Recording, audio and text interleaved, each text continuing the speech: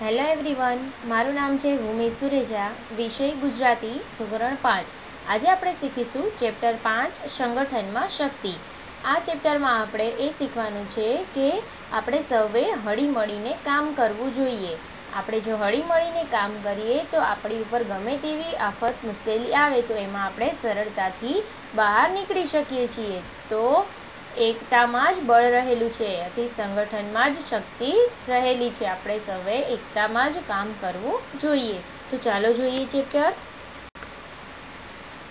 આ પાઠમાં આપણને શરીરના વિવિધ અંગોની માહિતી આપી છે. તેમજ તેના દ્વારા જ આપણને સંદેશ આપ્યો છે કે આપણે સૌએ હળીમળીને કામ કરવું જોઈએ. શરીરના અંગો જોર જોરથી બૂમો પાડીને બોલી રહ્યા હતા. નહીં કરીએ નહીં કરીએ, અમે પેટની ગુલામી નહીં કરીએ. દરેકને પોતાની વાત મૂકવી હતી. કોઈ કોઈનું સાંભળી રહ્યું ન હતું. બધા જ શરીરના અંગો છે એ બૂમો પાડતા હોય છે કે અમે હવે પેટની ગુલામી કરવાના નથી. કોઈ કોઈનું સાંભળતું નથી હોતું. બધાને શાંત પાડતા અધ્યક્ષ હૃદયરામ બોલ્યા, મિત્રો, શાંત થાઓ. શોર કરી બૂમો પાડવાથી કોઈને લાભ થવાનો નથી. જે મિત્રોને ફરિયાદ હોય તેઓ મહેરબાની કરીને મંચ પર આવીને વાત કરે. બધાને છે, આખા શરીર જેટલા અંગો છે, એ રાડો પાડતા હતા, એ બધાને શાંત પાડતા હૃદયરામ એટલે કે હૃદય બોલે છે, કે બધા જ તમે શાંત થઈ જાઓ, આવી રીતે બો, બૂમો પાડવાથી કોઈનું કંઈ થવાનું નથી. જેને પણ કાંઈ પણ પ્રશ્ન હોય એ મંચ એટલે કે સ્ટેજ પર આવીને પોતાનો પ્રશ્ન રજૂ કરે. આમ તેમ જોઈ દોડીને સૌથી પહેલાં હાથ આવ્યો ને બોલ્યો, અમે હાથ છીએ. અમે આખો દિવસ મહેનત કરીએ છીએ. પેટ માત્ર ને માત્ર આરામ કરે છે. ત્યાં તરત પગ બોલ્યો, વાહ ભાઈ, વાહ, તમે અમને ભૂલી ગયા? અમે તમને એક જગ્યાએથી બીજી જગ્યાએ લઈ જઈએ છીએ. હાથ અને પગનો જન્મ જન્મનો સાથ છે. હવે સૌથી પહેલાં હાથ આવે છે અને કહે છે કે, અમે આખો દિવસ મહેનત કરી છે અને અમે કોના માટે મહેનત કરી છે? કારણ કે ભોજન પેટને જોતું હોય છે, તો અમે એટલા માટે મહેનત કરી છે ને આ પેટ તો છે એ શું કરે છે? માત્ર આખો દિવસ આરામ કરે છે. ત્યાં જ તરત પગ આવીને બોલે છે કે, વાહ ભાઈ, અમે તો, અમને તો તમે ભૂલી જ ગયા. અમે તમને એક જગ્યાએથી બીજી જગ્યાએ લઈ જઈએ છીએ, ત્યારે તમે જાઓ છો ને. આવી રીતે હાથ અને પગનો તો જન્મ, જન્મનો સાથ છે. તમે, અમે જ જો તમને ન લઈ જઈએ, તો તમે ક્યાંથી જશો? એટલે બંને પોતાની વાતો રજૂ કરે છે. વાહ વાહ, તમે તો બંને પોતાની બડાઈ મારવા લાગ્યા. હું તમને રસ્તો બતાવું નહીં. તો તમે ઠોકર ખાઈને ગમે ત્યાં પડો અને તમારા હાડકાના ભૂક્કા બોલી જાય. આમ આંખો બોલી. ત્યાં જ તો હજી તો હાથ અને પગ વાત કરતા હોય છે, ત્યાં તરત જ આંખ બોલે છે કે વાહ વાહ, તમે તો તમારી પોતાની જ કે હોશિયારી કરો છો, તમે અભિમાન તમારા ઉપર કરવા માંડ્યા. જો હું જ તમને રસ્તો નહીં બતાવતી હોઉં, તો તમે તો ગમે ત્યાં પડી જાઓ અને તમારા, તમારું શરીર છે ભાંગી પડે, હાડકા તૂટી ફૂટી જાય, ભૂક્કા બોલી જાય. આંખો આવી રીતે કહે છે. હજી તો આંખો બોલે છે, ત્યાં જ દાંત વચ્ચે બોલ્યો. દાંત પોતાની બત્રીસી બતાવતા બોલ્યા, હમ, અરે, જો, અમે ખાવાનું ચાવીને ના ખાઈએ, તો પથ્થર જેવું તે ખાવાનું પેટમાં પડી રહે. અને તમે બધા તેના ભાથી જ ભાંગી પડો. મંચ પાસે દોડીને કાન આવ્યો અને બોલ્યો, હું તમને બધાને આખા જગતના સમાચાર સાંભળીને કહું છું. તમને બધાને કેવી રીતે ખબર પડે? જ્યારે આંખો કીધું ત્યાં જ છે એ દાંત બોલી જાય છે.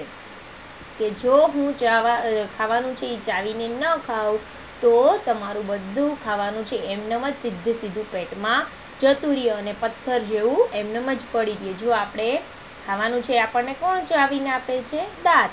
જો આપણી પાસે દાંત ન હોય, તો આપણે ખાવાનું સરસ રીતે ચાવી શકીએ નહીં.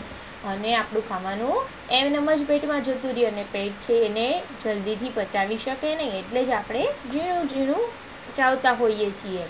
તો તરત જ દાંત બોલે છે પોતાની, બળાઈ બતાવે છે. અને ત્યાં જ પાછો કાન બોલે છે કે જો હું જ તમને બધા જ સમાચાર ન સંભળાવું, તો તમને કેવી રીતે ખબર પડે કે ક્યાં શું થઈ રહ્યું છે? એટલે કાને કહ્યું કે આગળ શું થવાનું છે, કે અત્યારે શું થઈ રહ્યું છે, એ તમને ખબર પડે નહીં. જો હું તમને ન સંભળાવું તો આવી રીતે બધા જ અંગો છે પોતપોતાની બડાઈ મારવા માંડ્યા. બધા અંગો બોલ્યા, અરે ભાઈ, અમે ક્યાં તને અમારાથી અલગ માનીએ છીએ? અમારા બધાની તો પેટની સામે ફરિયાદ છે. આપણે તેને પાઠ ભણાવવો જોઈએ. તે ખૂબ આરામ કરે છે. પણ આ સમાચાર તેના સુધી કોણ પહોંચાડશે? એટલે બધા જ અંગો છે એ કહે છે કે અમને તમારાથી કોઈ જ વાંધો નથી. અમારા બધાની તો ફરિયાદ કોની સામે છે? પેટની સામે છે કે એ જ આખો દિવસ આરામ કરે છે. આપણે તેના માટે કામ કરીએ છીએ અને તે આરામ કરે છે. આપણે તેને સબક શીખડાવવો જોઈએ. અરે, આ કઈ મોટી વાત છે? હું હમણાં જ જે સાંભળ્યું તે વાતોડી જીભને કહી આવું. તેને અહીંયાની વાત ત્યાં કરવાની ટેવ પડી ગયેલી છે. કાન બોલ્યો. આવી રીતે કાન કહે છે કે આમાં શું મોટી વાત છે? એ તો હું હમણાં જ પેલી જીભને કહી દઈશ. એટલે જીભ છે એ ત્યાં કહી દેશે કારણ કે એને તો ટેવ પડી ગઈ છે. અહીંની વાત ત્યાં, ત્યાંની વાત અહીંયા કરવાની. તો હું હમણાં જ તેને જઈને કહી દઉં છું. આપણી જીભ છે, આખો દિવસ બોલ બોલ કરતી હોય. તો અહીંની વાત આપણે ત્યાં કરતા હોય. ત્યાંની સાંભળેલી અહીંયા કરતા હોય.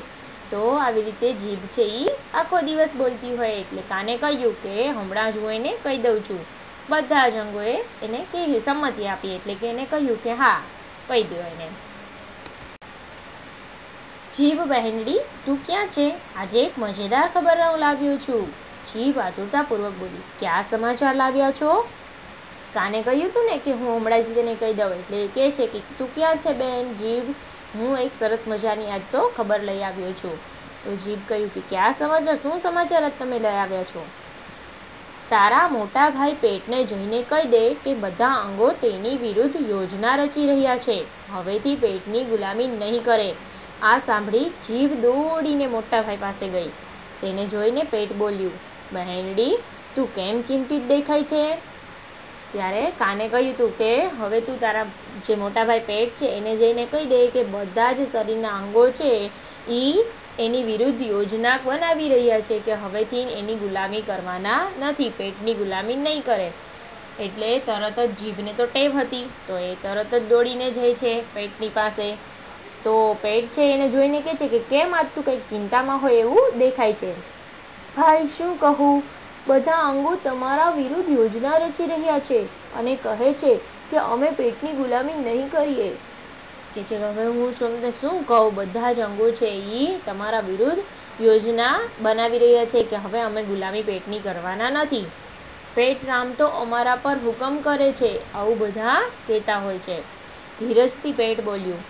હું એક જ અંગ એવું છું કે જ્યારે બધા આરામ કરે, ત્યારે પણ થાક્યા વગર કામ કરું છું. જા તું બહેનડી, ચિંતા ન કર, હું બધાને જોઈ લઈશ. પેટ છે એ ધીરજપૂર્વક બોલે છે કે હું એવું એક જ અંગ છું કે જ્યારે બધા જ આરામ કરતા હોય, હાથ, પગ, બધા જ જ્યારે આંખો બધા સૂઈ જાય છે, ત્યારે હું મારું કામ કરું છું. કારણ કે આપણે જ્યારે ખોરાક અંદર પહોંચાડી દઈએ છીએ દાંત જીભ, બધા દ્વારા, હાથ, બધા દ્વારા, પરંતુ તેને પચાવવાનું કામ કોણ કરે છે? પેટ કરે છે. એટલે જ્યારે બધા જ અંગો આરામમાં હોય છે, સૂઈ ગયા હોય છે, ત્યારે પેટ તેને પચાવવાનું કામ કરે છે. જીવ બધા અંગોને પેટનો સંદેશો પહોંચાડે છે. રાતના સમયે પેટે બધાને બૂમો પાડીને કહ્યું. પેટે કહ્યું, શું આજે ખાવાનું નથી મળવાનું? ત્યારે બધા અંગો એકી સાથે બોલ્યા, અમે બધા બીમાર છીએ. બની શકે તો તમે ખાવાનું બનાવી લો અને અમને જમાડો. શાંતિથી પેટ બોલ્યું, તમે બધા બીમાર તો હું પણ બીમાર છું. હું પણ આરામ કરીશ. બધા જ અંગો છે, એ કહે છે કે અમે હવે કામ કરવાના નથી, અમે બધા બીમાર છીએ. તમે અમને જમાડો. તો તો પેટ પણ બોલે છે કે જો તમે બધા બીમાર, તો હું પણ બીમાર, કારણ કે પેટ તો ભોજન સાથે ખાઈ શકે નહીં પોતાની જાતે. હાથ પોતાના દ્વારા ખવડાવે, ત્યારે પેટમાં જાય. તો પેટ કહે છે કે હમણાં હું બધાને એની અક્કલ ઠેકાણે લઈ આવી દઈશ. તો કે પેટ કહે છે કે હું પણ આરામ કરીશ તમારી જેમ, હું પણ બીમાર છું. બે દિવસ પછી દરેક અંગોને અશક્તિ લાગવા લાગી. કારણ કે ખોરાક છે એ પેટમાં ગયો નહીં, જો આપણે ભોજન સરખી રીતે ના ખાઈએ, તો આપણા બધા જ અંગો છે એ કામ કરતા અટકી જાય છે, આપણને અશક્તિ લાગવા લાગે છે. બધાને લાગવા લાગ્યું કે હવે શક્તિ વગર નહીં ચાલે. તે માટે પેટને ખોરાક આપવાનું બધા અંગોએ નક્કી કર્યું. બધાને ખબર પડી ગઈ કે જો આપણે પેટને ખોરાક નહીં આપીએ તો આપણે પણ સરસ રીતે કામ કરી શકીશું નહીં. એટલે બધાએ એને ખોરાક આપવાનું નક્કી કર્યું અને બધા સાથે મળીને પેટ પાસે બહેનડી જીભને લઈને ગયા. બધા અંગો સાથે મળીને બોલ્યા પેટભાઈ અમારા બધાની ભૂલ થઈ ગઈ. અમને માફ કરો. બધા જ અંગો છે એ કહે છે કે અમારી તો ભૂલ થઈ ગઈ, અમને માફી આપો. પેટ બધાને સમજાવતું બોલ્યું. પેટ સમજાવે છે બધાને. મિત્રો આપણે બધા શરીરરૂપી યંત્રના નાના મોટા અંગો છીએ. જેમ મશીનમાં એક યંત્રના વગડવાથી મશીન ચાલતું નથી, એવી જ રીતે આપણું શરીર પણ ચાલી શકતું નથી. આપણું શરીર છે એ એક મશીન જેવું જ છે. શું? તો કે જેવી રીતે મશીનમાં એમાં બધું જ જે પેટ્રોલ છે, આ ઈંધણ છે, ગમે તે, એ બધું નાખવું પડતું હોય છે, એવી જ રીતે આપણું શરીર છે એ પણ શું છે એક મશીન જેવું જ છે કે એમાં પણ એને ચલાવવા માટે ભોજનરૂપી પેટ્રોલ છે, એમાં નાખવું પડે છે, તો જ આપણું જે શરીર છે એ ચાલે છે. એટલે એવી જ આપણું શરીર ચાલી શકતું નથી મશીનની જેમ. એટલે ધ્યાનથી સમજો, ભોજન આ મશીન રૂપી અંગનું પેટ્રોલ છે. આવું પેટ છે એ બધા જ અંગોને સમજાવે છે કે ભોજન છે એ આ મશીન રૂપી અંગોનું પેટ્રોલ છે. એને પણ આપણા શરીરને પણ ભોજનની જરૂર પડે છે. આને વ્યવસ્થિત રીતે ચલાવવા હવેથી આપણે મજબૂત બનીશું.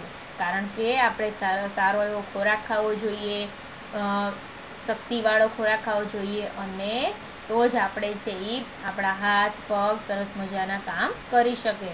આપણે હળી મળીને સહકારથી કામ કરવું જોઈએ. તેનાથી આપણને સહયોગ, સંગઠન અને એકતા મળશે. આવું છે પેટ બધા જ અંગોને સમજાવે છે કે આપણે આપણા શરીરને સરસ મજાનું ભોજન છે એ વ્યવસ્થિત રીતે આપવું જોઈએ. તો જ આપણે છે એ આપણું શરીર વ્યવસ્થિત રીતે ચલાવી શકીએ છીએ અને બધા જ અંગોએ સાથે મળીને કામ કરવું જોઈએ. તો આવી રીતે બાળમિત્રો, આપણે પણ હળી મળીને કામ કરવું જોઈએ, એવો બોધ છે આ વાર્તામાંથી, આ પાઠમાંથી આપણને મળે છે કે આપણે પણ સરસ મજાનું બધાએ હળી મળીને કામ કરવું જોઈએ. એકબીજાની ખેંચતાણ ન કરતા આપણા મિત્ર હોય, સગાવાલા હોય, બધાની સાથે આપણે હળી મળીને કામ કરવું જોઈએ.